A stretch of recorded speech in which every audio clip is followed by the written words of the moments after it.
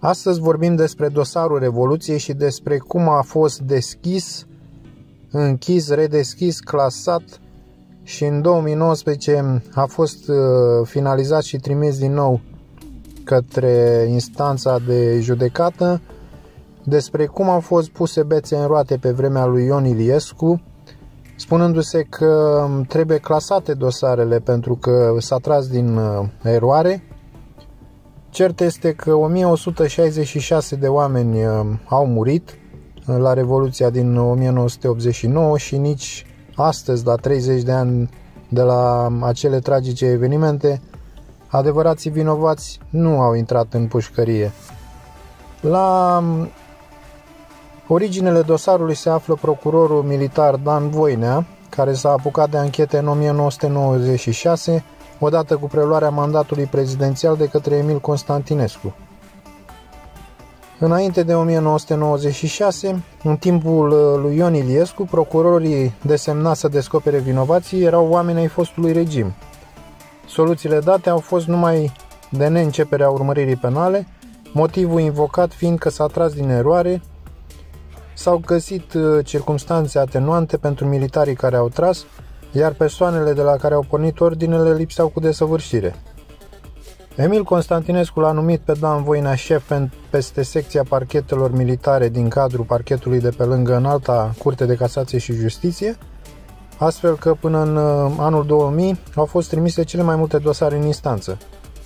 Printre cei trimiși în judecată s-au numărat uh, Victor Atanasie Stănculescu și Mihai Chițac, general ai armatei, condamnați la 15 ani de închisoare pentru omor deosebit de grav prin reprimarea Revoluției de la Timișoara. În anul 2008, în alta Curte de Casație și Justiție respingea recursurile celor doi generali, sentința fiind menținută la 15 ani de închisoare și degradare militară.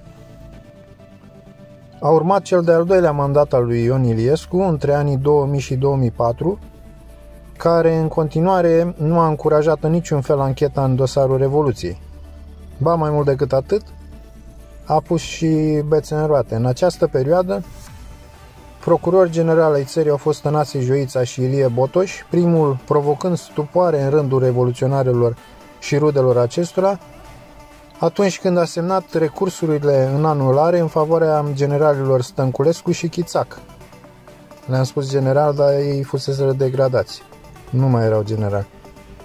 Tot în timpul acestui mandat al lui Ion Iliescu au crescut considerabil aplicării, aplicările legii 42 din 1990, prin care cei implicați la Revoluție erau despăgubiți într-un fel sau altul, prin reduceri la plata impozitelor, impozitelor către stat sau pensii suplimentare.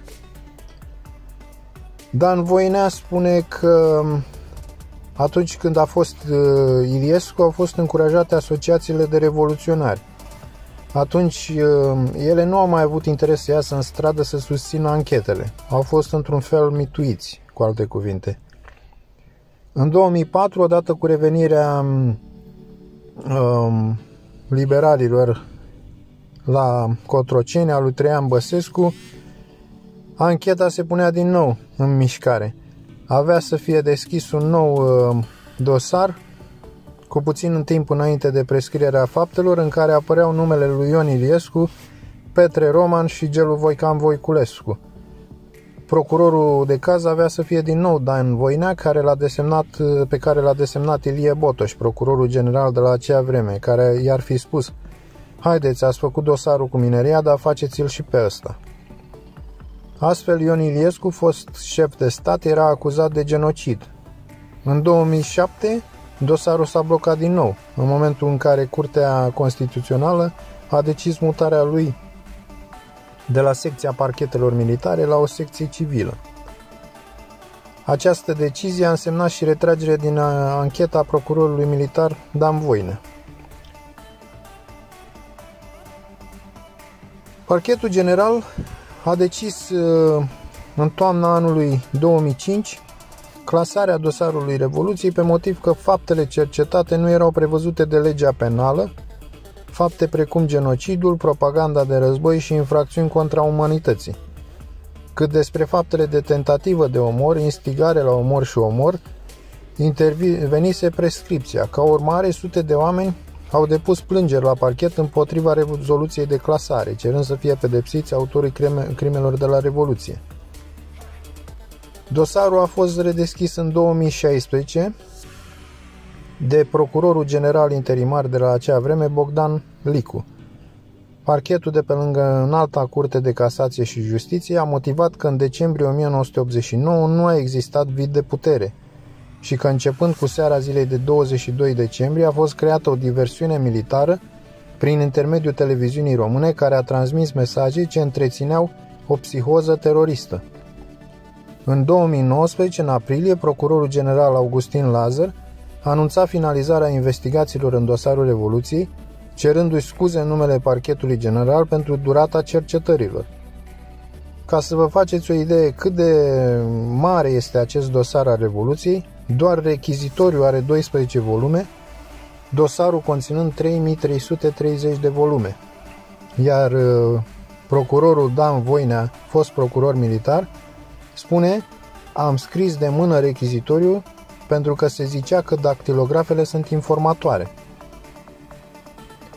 Pe lista acuzaților, capetele de afișe au fost Ion Iliescu, fost președinte, Gelu Voican Voiculescu, fost viceprim-ministru în guvernul provizoriu, Petre Roman, 1989-1990 prim-ministru și Iosif Rus, fost șef al aviației militare. În cazul lui Petre Roman, fost premier și al lui Teodor Bradeș, fost anfitrion al Revoluției la TVR, acuzați de infracțiuni contra umanității, a fost dispusă inițial clasarea, însă recent, în octombrie, aceasta a fost infirmată de către procurorul Bogdan Licu.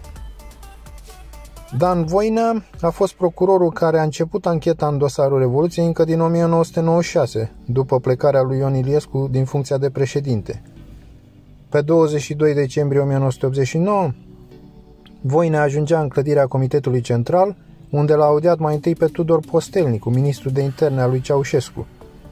Pornind de la declarația lui Postelnicu, a construit primul dosar din Pleiada care avea să fie denumită generic dosarul Revoluției – de la sediul CC, Dan Voina ajungea pe 25 decembrie la Târgoviște, unde prezenta învinuirile ce li se aduceau lui Nicolae și Elenei Ceaușescu. Noi am mers în ideea că se dă termen, nu că ne judecăm cum ar veni, declară procurorul, adăugând că soții Ceaușescu nu bănuiau că vor fi executați. Întrebat despre impactul finalizării dosarului Revoluției la 30 de ani de la evenimente, Dan Voine a explicat că victimele trebuie să primească un răspuns concret cu privire la vinovații care au fost la Revoluție, iar astăzi numărul acuzațiilor pentru tot ce s-a întâmplat este foarte mic.